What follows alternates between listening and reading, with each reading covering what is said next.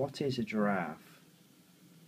A large African mammal Giraffa camelopardalis, family Giraffidae with a very long neck and four legs, having a coat pattern. He now praises the iPad.